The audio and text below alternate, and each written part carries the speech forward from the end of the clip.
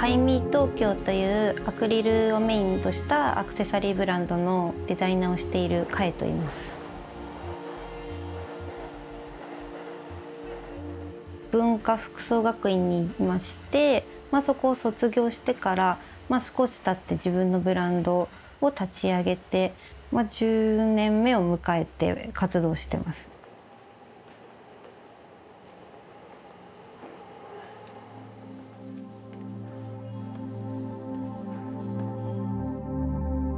サンダーボックスってアパレルブランドのデザイナーの森田君ともう一人テレコマさんという方が2人で立ち上げたお店になってます。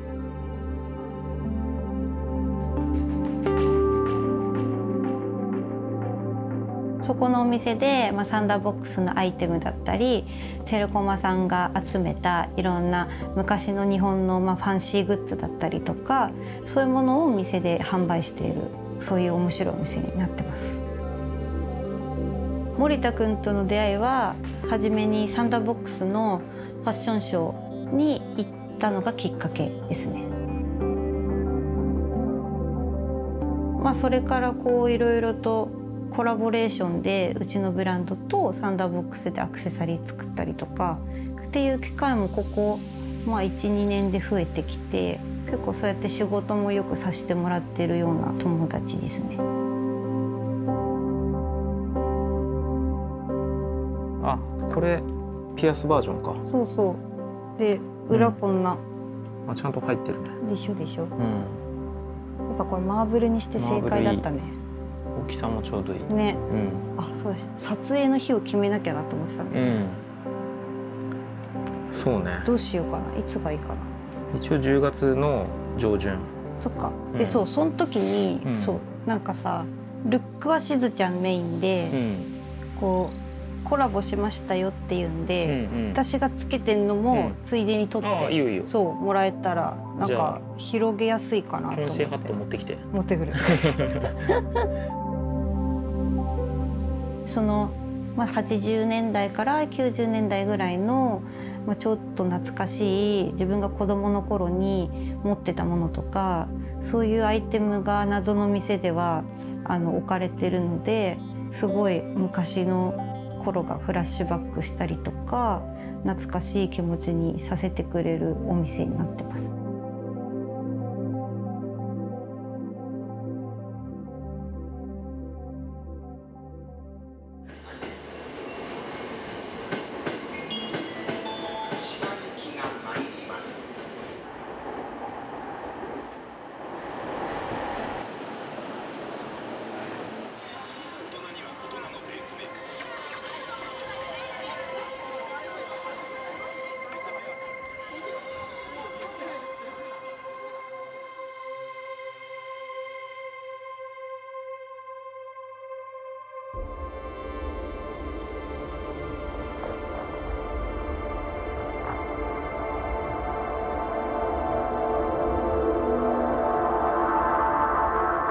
10月やっぱねちょっと、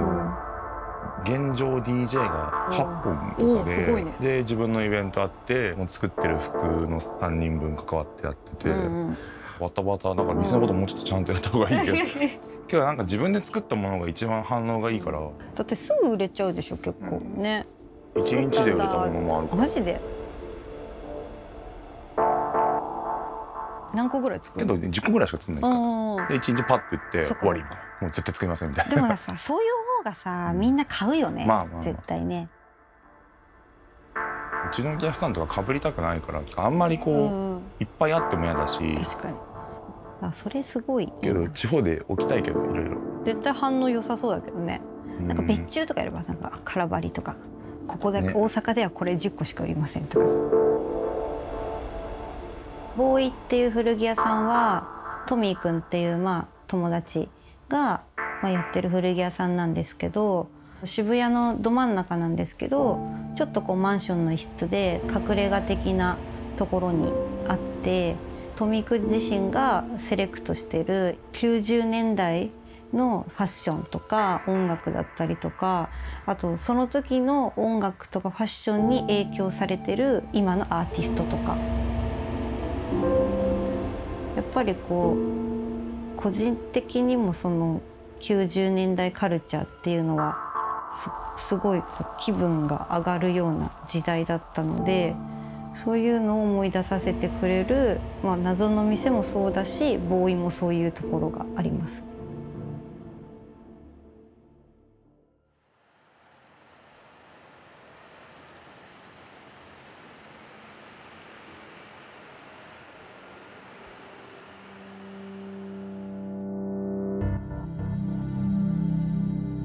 ハイミっていうブランドの名前のま、由来としてはアクセサリーというアイテムでやっぱりこう洋服のワンポイントとしてこう気分を上げるためのきっかけになるようなものをいつも作ろうと思ってやってます。で毎シーズンこうストーリーを自分の中で考えてそれをもとにいろいろデザインしたりとかそれをアクリルで表現するっていうことをま続けてやってます。もともとおもちゃっぽいものとかがすごい好きで自分が学生の頃にそういうアクリルのブローチとかを海外のブランドで目にするきっかけがあってそれがすごい可愛くてつけた時のにすごい気分が上がるっていうことがあってそういうものを自分も作っていきたいなっていうところがもともとあったんですよね。いつもあるのが表現する方法は割とポップだったり明るい感じまあ可愛いって思ってもらえるようなデザインを心がけてるんですけどでもそれのコンセプトっていうのは割とシュールさがあったりとかあとこう人の気持ちの曖昧さとかそういうなんかグレーな部分っていうところもいつも私は意識しているっていうかそれいうことが多いです。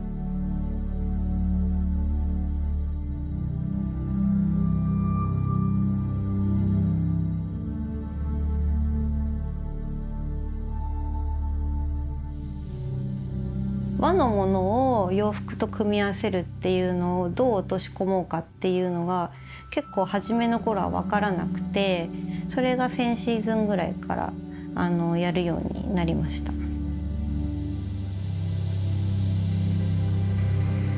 竹久夢二って大正時代の画家がいてシーズンテーマとしては、まあ、その竹久夢二とその彼に関わった3人の女性それぞれにこう視点を当てたストーリーでそれをデザインにも落とし込むっていうシーズンだったんですよね。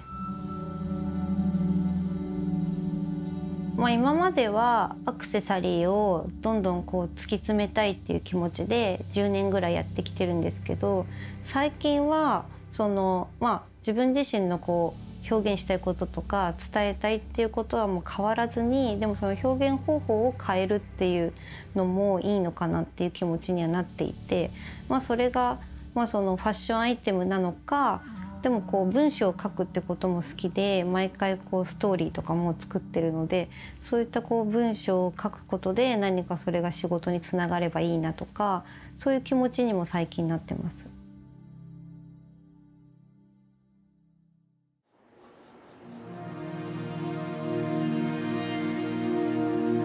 誠心誠意っていう言葉なんですけど